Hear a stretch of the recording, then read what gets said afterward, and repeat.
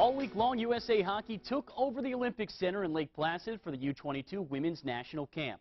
Close to 40 skaters competed for 22 spots. Among them, UVM hockey star Amanda Pelkey. Tonight, the Montpelier native found out that she will get to wear her nation's colors for a few more weeks. Pelkey was one of 12 forwards named to the 22-player roster. She and the rest of Team USA will travel to Calgary from August 21st to the 24th for a pair of series against Canada.